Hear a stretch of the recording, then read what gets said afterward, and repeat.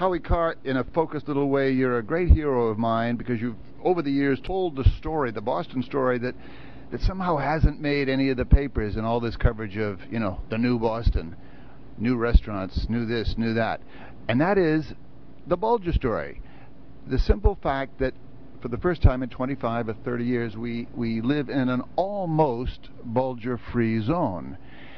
I mean, who would believe, who coming from Kansas or Arizona or California even would believe that for so many years, two brothers ran everything. Uh, one ran the state house and the other ran the cocaine cartel, and they were inseparable. You could not get a dime's width between them. They were intimate, they were loyal to each other, and now, to all intents and purposes, they're gone. Do you want to explain for the beginners how this happened? Well, there were these two brothers, uh, Billy Bulger and his older brother Whitey. Whitey was a criminal from just about the moment he was born in 1929 and he slowly worked his way up through the rungs of organized crime. Spent a little time in Alcatraz in the late 1950s, early 1960s, and as as he was finishing up his sentence for bank robbery, his brother Billy, his younger brother Billy, who was a graduate of Boston College High School, undergraduate, and the law school, was elected to the state legislature and first to the House and then to the Senate. And oddly enough, as Whitey began moving up through the rackets in the Boston underworld, his brother Billy began simultaneously moving up through the overworld of uh, politics at the State House.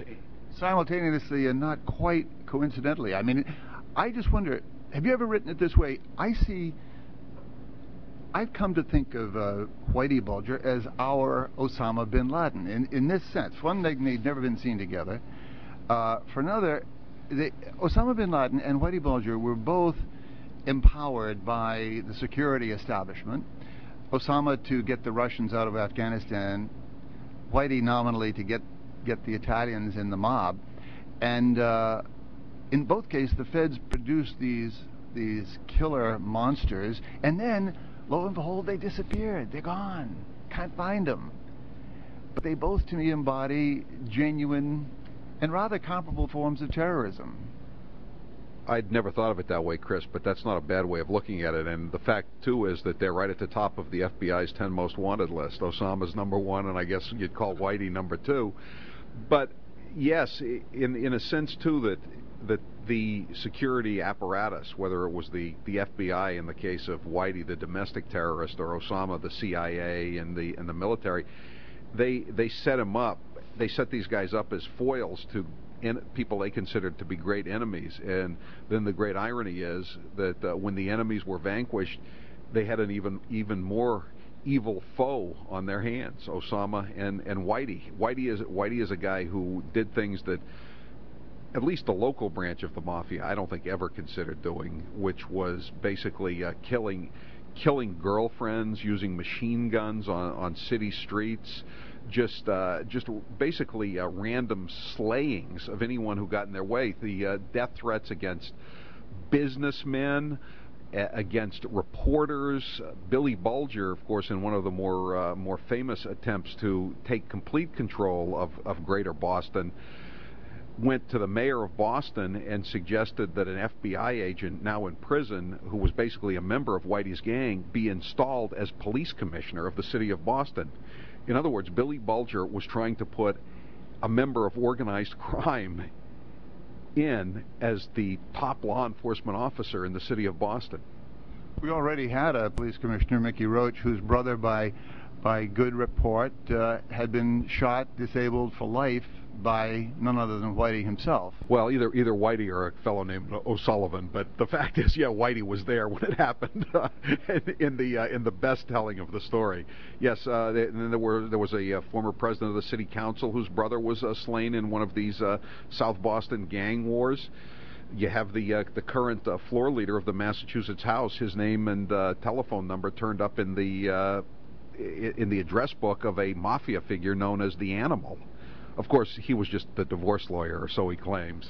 See, this is so hard to explain to people, and even around here, a lot of people have been just unwilling to believe that we live in a town that was run, to all intents and purposes, by the mob. By I mean, if this happened, I've always said if, if this happened in Medellin in Colombia, you know, people would say, well, what do you expect? I mean, that's a cocaine city. Or, or Marseille, say, in the 40s, people would have said, well, you know, you got to expect. But this is Boston. Well, Chris, I, I, think too that you have to remember that this is not just state politics. Although you and I both know that Billy had a great deal of influence over a number of statewide office holders, including Mike Dukakis, who, let's not forget, was almost elected president of the United States. However, it goes beyond that. The the Bulger family has close, or at least Billy has close ties to the Bush family, and it goes back to 1988. Now, according to stories that are told by members of the Bush family, in 1988, it was Billy Bulger who suggested that George H.W. Bush, down 17 points in the polls, bring his road show, his political campaign to Boston and take a ride around the harbor to point out the ineptitude of Mike Dukakis. And I've always heard that uh, George H.W. Bush thought that that was the beginning of the turnaround in the 88 campaign when he when he sailed the Boston Harbor.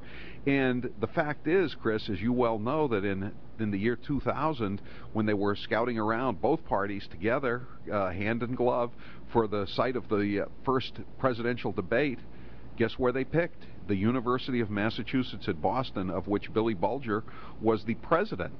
And of course, Ted Kennedy had sort of made his peace with Billy Bulger. He's going to have all of his papers down there at the library at Ted Kennedy Building. And George H.W. Bush and his son, they, they felt they owed Billy a favor, and he called in the chit.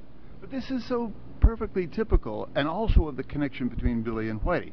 I mean, first of all, you know, you wouldn't want him as a friend because the first thing he'd do would sell you out. In the Whitey case, he let that Valhalla ship go with arms for the IRA. As soon as it was, you know, out to sea, dropped a dime with the CIA or wherever it was, and, and, and the thing was captured. So both of them always play both sides, it seems to me. You, you have to finish the story. Go ahead. And, and then he takes a contract to kill to kill one of the crew members and does kill one of the crew members for ratting out the ship, even though in all likelihood he was the one who ratted out the ship. It's like something out of an early George V. Higgins novel. The guy is taking contracts to kill people when he actually was the one who should should be assassinated by the by his fellow members of the mob. What do you mark as the kind of high water peak of the Bill Bulger's power between running the state senate and having this kind of mob violence as a threat behind him? I mean, how high did it go? I, I would have to say the late 80s would have been the uh, pinnacle of uh, Bulger's power. The the governor of the state was Mike Dukakis, and he was basically at the end a, a pawn of Billy Bulger. Uh, Mike Dukakis, who had been elected as a reformer, just had adopted a tr- just a get along, go along to get along attitude. One time, a state trooper in a famous incident at Logan Airport stopped Whitey Bulger from taking apparently fifty to one hundred thousand dollars cash out of the country. The next day, Mike Dukakis's head of Logan Airport showed up at the state police barracks at the airport and demanded to see a copy of the report involving uh, Whitey's attempt to get this money out. The state trooper was later uh, transferred to the Boondocks and later ended up committing suicide. Are You sure that wasn't under Governor Weld? I'm positive that was under Mike Dukakis. Okay. 1987. Okay. Either way, you know, it seems to me Bulger would have had a new dimension of unheard of power if John Silber had been elected in 1990 because he had put Silber into the race effectively with convention convention votes, and he would have owned him lock, stock, and barrel. How do you suppose Silber would have dealt with that? Well, that's that's a really interesting question, Chris, because I, I, I think that I'm not the only person who voted for Weld over, over Silber because I was concerned about the Bulger connection. You are not the only one, brother. I'm, I'm with you. but but the fact is that uh, within a few years, he ended up owning the brain of the Republican governor who who would camp who would end who would run against him in 1990 and and had made these points about how Bulger would control everything. You may you might say that he had more power at the state house level under Weld than he even had under Dukakis. Absolutely. I never figured this out, why Weld took a dive. There was that famous uh, moment in the summer of that campaign. I'm sure you remember it, 52 Bulger, cocaine associates, all arrested. Not Whitey, but the whole gang. and he was an unindicted co-conspirator. Bill Weld denounced it, uh, said this is what we're looking at in the Democratic Party. But within a few months, he was in bed with Bulger, and the two of them ran everything under that state house together. It, it was like Bill Weld. Uh, this is maybe te- technical for the for the listeners, but he had a he had the veto power. Uh, he could uh, sustain any veto that he wanted to because he had 16 senators in the uh, in in Bulger's branch, the the state senate.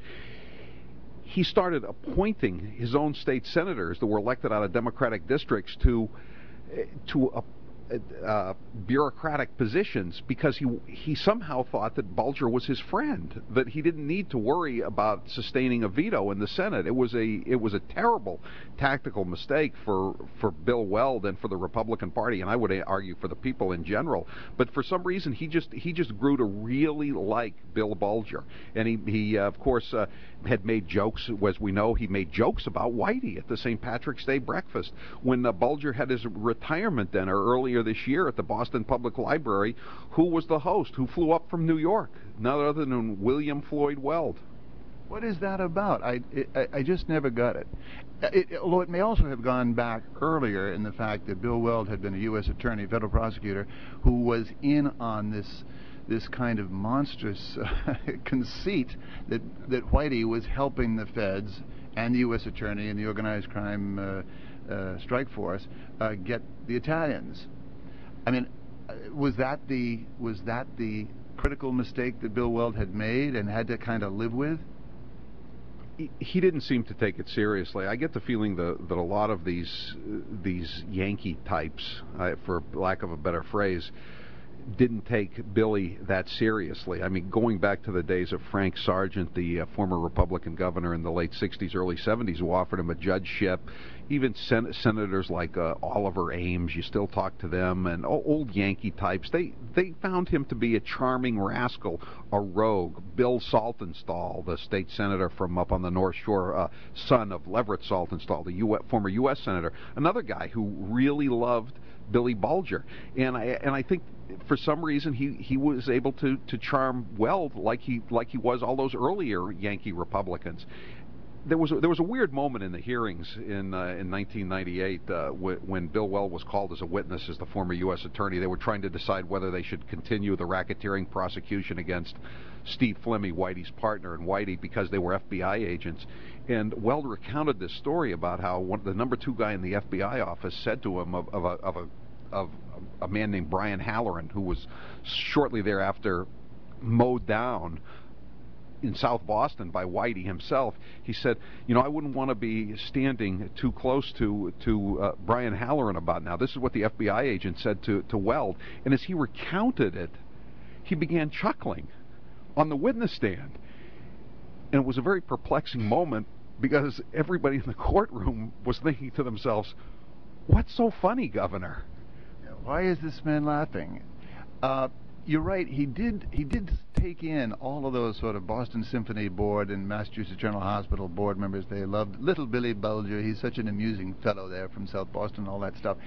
But it seems to me part of the problem was that they were allowed to do that. I mean, he was allowed to make himself this little leprechaun. He could sing a song on an occasion. Didn't watch television. Pretended to have read, you know, to be able to read Latin and Greek. Uh, that was partly because uh, the media, that's us, everybody but you in many ways, although I had a little hand in it sometimes. Uh, You're being modest. Chris. Well, no, no, but we got to we got to talk about the media role in this. Allowed Billy to uh, get away with this picture of you know little Mr. Shamrock. Uh, but I, I want to actually, I'd like I'd like you to cover what you think are both the heroes and the villains of this piece. And I just throw out for a start on the villains list. We'll come to the heroes, but you know the FBI totally incompetent here, including you know, vaunted reputations like Jeremiah O'Sullivan and uh, all the federal prosecutors, including Bill Weld.